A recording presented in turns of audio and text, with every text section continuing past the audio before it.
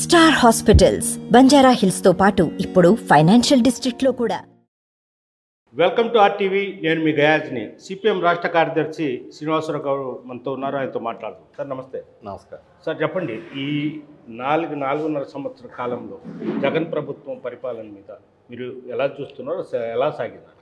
అంటే జగన్ పరిపాలనని ఒక రెండు మూడు దశలుగా చూడాలి. అధికారానికి రాకముందు ఎన్నికల సమయంలో చాలా వాగ్దానాలు చేసి ఈయన వస్తే మా సంక్షేమ కార్యక్రమాలను అమలు జరుపుతాడనే ఒక నమ్మకం ఒక భ్రమ కల్పించాడు. అందువల్ల గత ఎన్నికల్లో బాగా ఓటేశారు. రాజశేఖర రెడ్డి కొడుకు ఆయన మాట మీద నిలబడతాడని. వచ్చిన తర్వాత పథకాలు అమలు చేశాడు. పథకాలు అమలు చేయటం మొదలుపెట్టిన తర్వాత ఆయనకి ఎన్నికల్లో కన్నా కూడా కాస్త ఎక్కువ మద్దతు పెరిగింది. తర్వాత అది మనకు స్థానిక సంస్థల ఎన్నికలు ఇతరుల వాటిల్లో కూడా బయటపడుతుంది. అయితే కరోనా కాలంలో ఆ టైంలో ప్రభుత్వం వివిధ సెక్షన్లకి ఇవ్వాల్సిన సహాయం కానీ చేయాల్సినటువంటి పద్ధతిలో చేయలేదు. సంక్షేమ కార్యక్రమం అమలు జరుగుతున్న వాటితోనే అన్నీ నడిచిపోతాయి అనుకున్నారు. సంక్షేమ కార్యక్రమాలు కొంతవరకు ఉపయోగపడ్డాయి. కానీ కరోనాలో ప్రజలు బాధలు పడుతున్న దాన్ని మీట్ అవటానికి అనుగుణంగా లేదు. ముఖ్యంగా చాలా అనార్గనైజ్డ్ వర్కర్స్ వ్యవసాయ కూలీలు చాలా ఇబ్బంది పడ్డారు. ఆ కాలంలోనే ధరలు పెరగటం మొదలైంది. అది రెండో దశ. అంటే అసంతృప్తికి మూలం అక్కడ బీజం పడింది. కరోనా వెళ్ళిన తర్వాత నుంచి ఇక ఆర్థిక పరిస్థితి మీట్ అవటం కోసం ప్రజల మీద ఒక్కొక్కటి ఒక్కొక్కటి భారాలు వేయటం మొదలుపెట్టారు. క్రమంగా వివిధ సెక్షన్లో అసంతృప్తి పెరుగుతున్నది. మొదట ఉపాధ్యాయులతో ప్రారంభమై సిపిఎస్ మీద తర్వాత రాష్ట్ర ప్రభుత్వ ఉద్యోగులు టీ ఇతర అన్ఆర్గనైజ్డ్ వర్కర్స్. ఇట్లా అర్బన్ ఏరియాల్లో వివిధ రకాల సెక్షన్లో అసంతృప్తి మొదట పెరిగింది.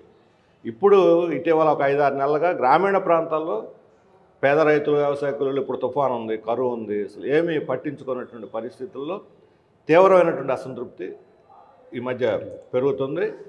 రెండు వేల పంతొమ్మిది ముందున్న నాటి కన్నా కూడా ఆయన గ్రాఫ్ పడిపోయింది. అందుకని ఈరోజు ఆయన మీద వ్యతిరేకత తీవ్రమైనటువంటి వ్యతిరేకత మనకి స్పష్టంగా జనంలో కనిపిస్తుంది. కాబట్టి ఇప్పుడు రెండు వేల పంతొమ్మిది నాటి ప్రారంభంలో ఉన్న నాటి ఫోరియా లేదు. ఇప్పుడు ఆయన్ని వదిలించుకుంటే బాగుండు అనేటువంటి భావం ప్రజల్లో ఎల్లడరా పెరుగుతూ ఉంది. అది ఇప్పుడు ఉన్నటువంటి స్థితి ఆయన చెప్పడము వైనాట్ వన్ సెవెంటీ ఫైవ్ అంటున్నాడు. అదేవిధంగా జనాలు మా వెంటున్నారు పేద ప్రజలకు మేము ఎన్నో పథకాలు ఇచ్చాము. ఫార్టీ పర్సెంట్ ఓట్ బ్యాంక్ మంది మన వైపు ఉన్నారని.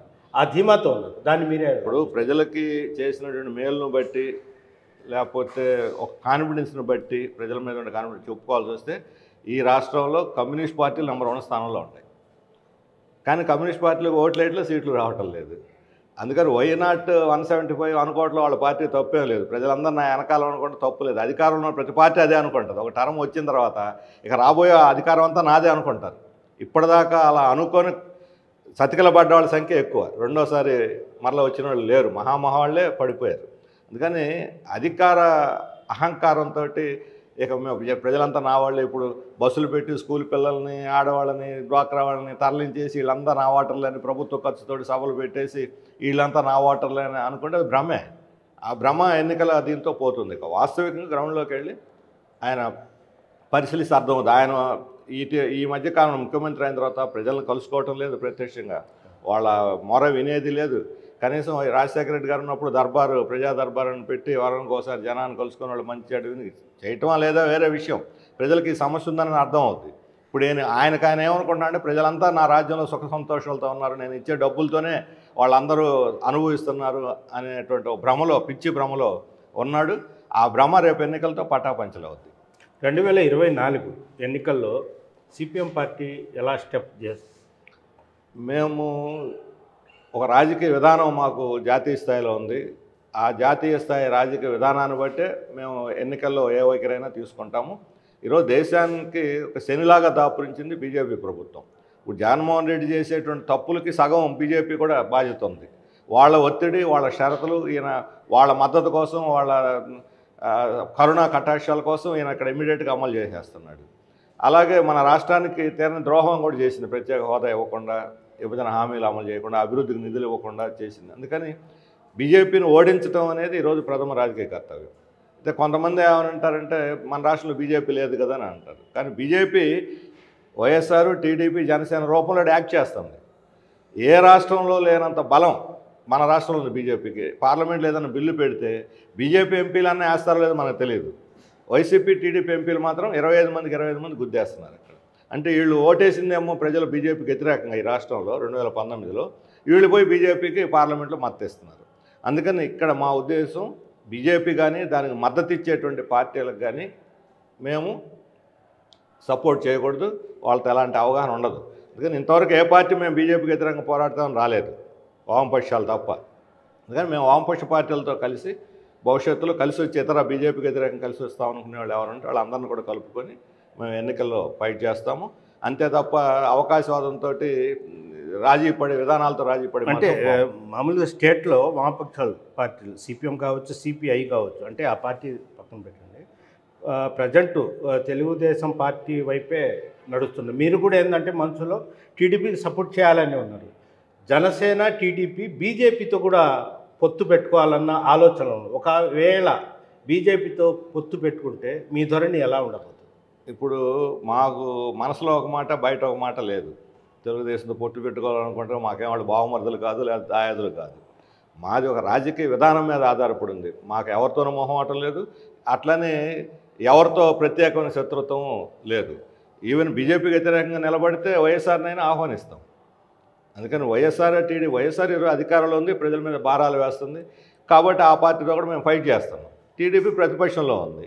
ఇప్పుడు ఈరోజు ఆందోళన జరుగుతున్నాయి అంగన్వాడీలు వీళ్ళందరూ. మేము మద్దతు ఇస్తామని వాళ్ళు వస్తున్నారు. మంచిదే మద్దతు ఇస్తున్నారు. రేపు పొద్దున వీళ్ళు అధికారంలోకి వస్తే మేము వాళ్ళకి ఇరవై ఆరు వేలు కనీస వేతనం ఇచ్చి మేము వాళ్ళ జీవితాలను బాగు చేస్తామని వాగ్దానం చేయమనండి. అవి చేయరు. మేము మద్దతు ఇస్తామంటే ఉపయోగం ఉంది అందుకని తెలుగుదేశం యొక్క విధానాల్లో కూడా చాలా అస్పష్టత అవకాశవాదం ఉంది. దానితో దానికి తోడు బీజేపీతో ఇప్పటికీ వాళ్ళు లోపాయకారి వ్యవహారాలు నడుపుతూ ఉన్నారు. బీజేపీ గురించి ఒక్క మాట మాట్లాడట్లేదు వాళ్ళు ఎంత అన్యాయం చేస్తున్నారు? మన రాష్ట్రానికి తీరని అన్యాయం చేస్తున్నా సరే మాట్లాడటం లేదు. అది నష్టం కదా. అందుకని మా రాజకీయ విధానాన్ని బట్టి మా ఎత్తుగాళ్ళు ఉంటాయి తప్ప వాళ్ళ మీద ఒక పట్ల సానుకూలత లోపల ఒక మాట బయట ఒక మాట ఇన్ని రకాలుగా మా పార్టీ అనుసరించదు. అంటే నెల్లూరు జిల్లాలో సిపిఎం పార్టీకి పలు చోట్ల బలం ఉంది. అంటే మీరు రేపు ఎన్నికల్లో ఎమ్మెల్యే కానీ ఎంపీకి కానీ పోటీ చేసే అవకాశాలు ఉన్నాయి మీ పార్టీ తరఫున? అది పరిశీలన చేస్తున్నాము. ఖచ్చితంగా మాకు ప్రజాబలం ఉన్న చోట నెల్లూరులో ఒక టౌన్లో కానీ కోవూరులో కానీ మాకు సర్వేపల్లిలో కానీ వీటన్నిటిలో మాకు ప్రజా పునాది ఉన్నది. అందుకని ఇక్కడ పార్లమెంటు స్థానంలో గతంలో పోయి- పోటీ చేస్తున్నాము. ఇలాగ అసెంబ్లీలో గతసారి పోటీ చేస్తున్నాము. కానీ ఇవన్నింటినీ మేము ప- సమీక్ష చేసుకొని ఎక్కడెక్కడ పోటీ చేయాలనేటువంటి త్వరలోనే నిర్ణయిస్తాం. అంటే ప్రధానం ఇంతకుముందు స్టేట్ వైడ్ చూసుకుని ఇంతకుముందు కోవూరుగా కోవూరులో జక్కా వెంకయ్య గారు గెలిచారు అప్పటి రాజకీయాలు. అంటే ఇప్పుడు రాజకీయాలు కార్పొరేట్ రాజకీయాలు మారిపోయాయి. మీరు మాత్రం ఇంకా సాంప్రదాయ రాజకీయాల్లోనే ఉన్నారు. ఎట్లా గెట్టనవుద్దని మీరు ఊహించుకుంటున్నారు? మేము కార్పొరేట్ సాంప్రదాయ యాంగిల్ ఆలోచించలేదు అప్పుడు ఇప్పుడు కూడా మా కార్మిక వర్గ రాజకీయాలే. శ్రామికుల పక్షంలోనే ఉన్నాం. అప్పుడు కూడా ఇప్పుడు శ్రామికుల్ని దోపిడీ చేసే వాళ్ళు మారిపోయారు. అంతకుముందు పెద్ద పెద్ద భూస్వాములు వాళ్ళు వీళ్ళు వచ్చేవాళ్ళు లేకపోతే లోకల్గా ఉండే నాయకులు ఉండేవాళ్ళు. ఇప్పుడు జా- జాతీయ అంతర్జాతీయ కార్పొరేట్లు వచ్చేసి కోట్లు కోట్లు కుమ్మరించి ఎన్నికల్లో గెలవాలని వాళ్ళందరూ వాళ్ళు గుప్పెట్లో పెట్టుకున్నారు. ఇంతకుముందు ఎన్- ఎన్టీ రామారావు ప్రాంతీయ పార్టీ తెలుగుదేశం పెట్టినప్పుడు ఈ బడా బడా కార్పొరేట్లు మన రాష్ట్రం మీద ఆధిపత్యం వహించి ఇక్కడ మన వాళ్ళకి లోకల్గా ఉండే వాళ్ళకి మన పెట్టుబడిదారులకి పారిశ్రామికవేత్తలకు అవకాశం ఇవ్వటం లేదని ఆయన కేంద్రంతో ఫైట్ చేశాడు. ఇప్పుడు ఎవరితో అయితే రామారావు ఫైట్ చేశాడో వాళ్ళనే చంద్రబాబు నాయుడు తర్వాత ఆహ్వానించాడు. వాళ్ళకే పెద్దపేట వేసాడు అందుకని మారింది వాళ్ళు. కార్పొరేట్లుగా వాళ్ళు మారిపోయారు. కాబట్టి కార్పొరేట్తో ఫైట్ చేయక తప్పదు మేము. అదే అదే. అందుకని మేము ఆ రోజు ఈ రోజు కూడా శ్రామికుల పక్షంలో నిలబడ్డాం. అప్పుడు కూడా ఇప్పుడు అందువల్ల మా విషయంలో లైన్ ఆఫ్ థాట్ తేడా లేదు. అదే అంటే ఇంత ముందు చాలా సాఫ్ట్గా ఉండే. ఇప్పుడు సిటీ వాళ్ళన్నా ఒక కార్పొరేట్ సంస్థ వాళ్ళకే ఇవ్వడము డబ్బు ఉంటేనే చూస్తున్నారు వంద కోట్లు ఉన్నాయి రెండు వందల కోట్లు ఉన్నాయి అనేది. డబ్బు రోలు పెరిగింది బాగా పెరిగింది మన రాష్ట్రంలో. దాన్ని ఇప్పుడు లీగలైజ్ కూడా చేశారు. ఈ బాండ్స్ ఎలక్షన్ బాండ్స్ తీసుకొచ్చి లీగలైజ్ చేసి మీరు కంపెనీలని మీరు ఆ డబ్బు ఎంత కేటాయించారు ఎంత ఏ పార్టీకి ఇచ్చారు చెప్పమని చెప్పడం లేదు. కేంద్ర ప్రభుత్వం ఏమంటుంది? చెప్పాల్సిన అవసరం లేదు రహస్యం అన్నారు అంటే కార్పొరేట్ దగ్గర నుంచి రహస్యంగా నిధులు తీసుకొని ఎవరు ఇచ్చారో ఎంత ఇచ్చారో కూడా కాకుండా కోట్లు కోట్లు అంతకుముందు బ్లాక్ మనీ రూపంలో తెచ్చుకోవాల్సి వచ్చేది. ఇప్పుడు కార్ బాండ్లు వచ్చిన తర్వాత ఒక బ్లాక్ కాస్త వైట్ అయిపోయింది. ఇటువంటి స్థితిలో డబ్బు కొంతకాలం పనిచేయచ్చు వాళ్ళకి అవకాశం ఉన్నంత వరకు కానీ ఏదో ఒక రోజు న్యూట్రల్ అవుద్ది. ఇప్పుడు రేపు పొద్దున వైసీపీ వాళ్ళు టీడీపీ వాళ్ళు కుమ్మరిస్తారు. ఎవరు ఒకరికే కదా జనం ఓటేస్తారు ఇద్దరికి వేయరు కదా. ఒకరే కదా గెలుస్తారు. డబ్బు పెట్టిన ఇద్దరు గెలవరు కదా. ఇప్పుడు కర్ణాటకలోనూ పెట్టారు. బీజేపీ వాళ్ళు పెట్టారు కాంగ్రెస్ వాళ్ళు పెట్టారు తెలంగాణలోనూ పెట్టారు. వైసీపీ బీఆర్ఎస్ వాళ్ళు ఎక్కువ పెట్టారు యాక్చువల్ బీఆర్ఎస్ ఎక్కువ పెట్టింది అన్నారు కాంగ్రెస్ కన్నా. బీఆర్ కాంగ్రెస్ పెట్టింది. అయినా బీఆర్ఎస్ ఓడిపోయింది కదా.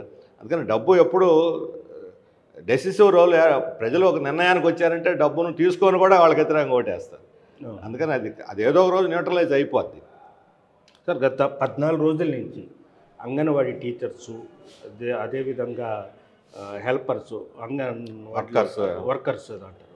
అంటే కనీస వేతనాలు వాళ్ళకు పదివేలు ఏమో హెల్పర్స్ వాళ్ళకు ఏడు వేలేమో సుమారు ఒక ఎనిమిది నెలల నుంచి కూడా అద్దెలు కూడా చెల్లించలేని పరిస్థితి. వాళ్ళు ఇంత ఫైట్ చేస్తున్నారు. ప్రభుత్వం నుంచి ఇంతవరకు మీ అంటే మీరేమైనా రెప్యుటేషన్ ఏమైనా జగన్మోహన్ రెడ్డి గారికి సీఎం గారికి పంపించారా? సీఎం గారు ఎవరిని కలవడు. ఎవరు మొర వినడు. ఆయన విగ్రహం. ఆ చుట్టూ ఉన్న పూజారులే వినాలి ఆ పూజారులు పోయి ఆయనకు చెప్పుకోవాలి. అందుకని మధ్యలో ఈ పూజారులే రోజు ప్రజలకి ఆయనకి అడ్డంగా కూడా ఉన్నట్టున్నారు. ఆయన కూడా పూజారులతో పూజారులతోటి బాగా సంతోషంగా ఉన్నట్టున్నాడు.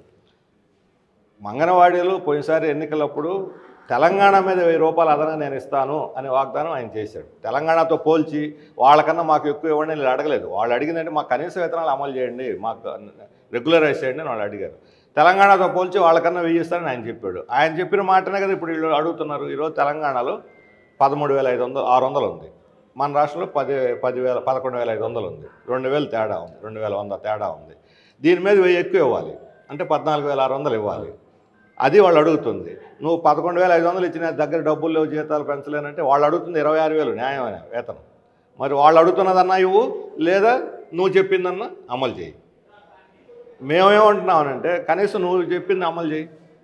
నీ మాటే కదా వాళ్ళేమి గొంతెమ్మ కోరి కోరటం లేదు కదా. అవును. ఇప్పుడు మొత్తం వా- వాళ్ళు అడిగే నువ్వు చెప్పిన దాని ప్రకారం ఒక మూడు వేలు పెంచితే మూడు వందల యాభై మూడు వందల డెబ్బై కోట్లు అదనంగా అవసరం అవుతుంది మూడు వందల డెబ్బై కోట్లు గవర్నమెంట్ దగ్గర లేవా డబ్బులు. ఈ డబ్బు ఇప్పుడు నువ్వేమన్నా సంక్షేమ కార్యక్రమాలు అమలు చేసి ప్రతి కుటుంబానికి లక్ష నలభై వేలు సగటున ఇస్తున్నాను నాది అని చెప్పి అంటున్నావు. అందరికి ఆ పెన్షన్ ఈ పెన్షన్ అమ్మఒడి అన్ని కలిపి ఇంత ఇస్తున్నానని చెబుతున్నావు.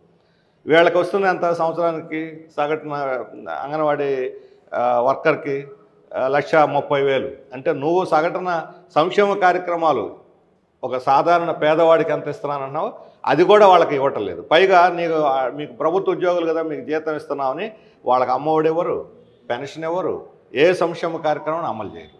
అంటే అమ్మ పెట్టదు అడుక్కొని ఇవ్వదు అన్నట్టు నువ్వు జీతాలు పెంచవు సంక్షేమ కార్యక్రమాలు అమలు చేయవు వాళ్ళు అటు చాకరీ మాత్రం చేయాలి. ఇంతకుముందు ఒక పూటే వాళ్ళకి పని ఉండేది. ఇప్పుడు రెండు పూట్ల పని.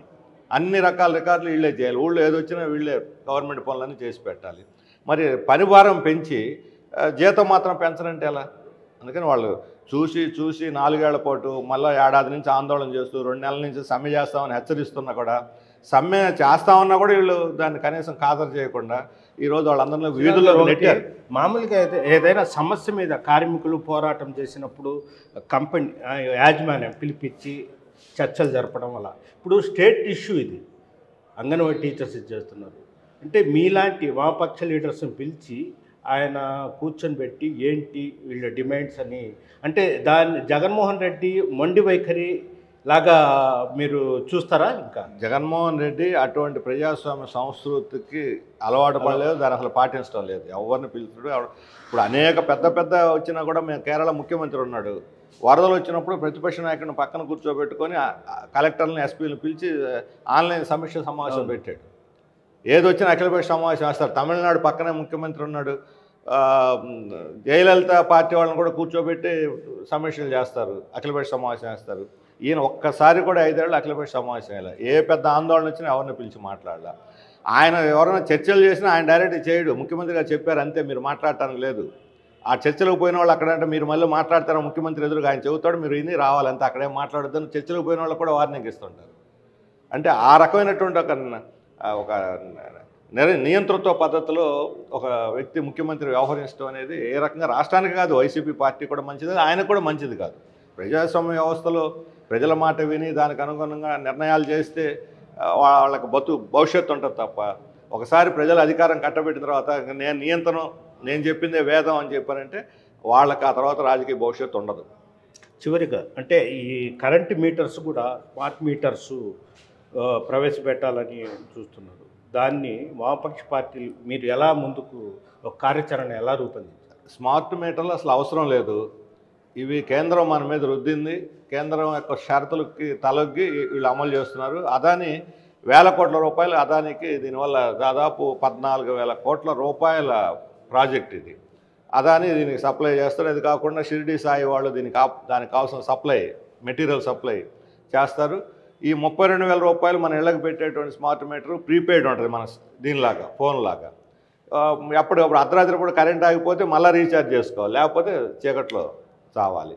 కాబట్టి ఈ ప్రీపెయిడ్ మీటర్లు అవసరం లేదు స్మార్ట్ మీటర్లు అవసరం లేదు ప్రజలు దీన్ని కోరటం లేదు. ఇది కేవలం అదాని లాంటి కార్పొరేట్లను పోషించడానికి వచ్చింది కాబట్టి ఈ మీటర్లు పెట్టడానికి ప్రతిఘటించాలి. ఇళ్ళకు వచ్చినప్పుడు దాన్ని పెట్టుకొని వద్దు అని చెప్పి మేము ప్రజలకి విజ్ఞప్తి చేస్తాం. కేంద్రంలో బీజేపీ ప్రభుత్వం అదేవిధంగా ఆంధ్రప్రదేశ్లో బీజేపీని బీజేపీ ముసుగులో ఉన్న పార్టీలను ఓడించడానికి తాము ముందుకెళ్తాము. అదేవిధంగా రెండు వేల ఇరవై నాలుగులో సిపిఎం పార్టీ ఎలాంటి నిర్ణయం తీసుకోవాల్సింది కూడా త్వరలోనే ప్రకటిస్తామని కూడా శ్రీనివాసరావు గారు చెప్తున్నారు. వీడియో ప్రతితో గయాజ్ ఆర్టీవీ నెల్లూరు. మరిన్ని వీడియోస్ కోసం ఛానల్ సబ్స్క్రైబ్ చేయండి. లేటెస్ట్ అప్డేట్స్ కోసం వాట్సాప్ ఛానల్ ఫాలో చేయండి. అండ్ లింక్ డిస్క్రిప్షన్లో ఉంది.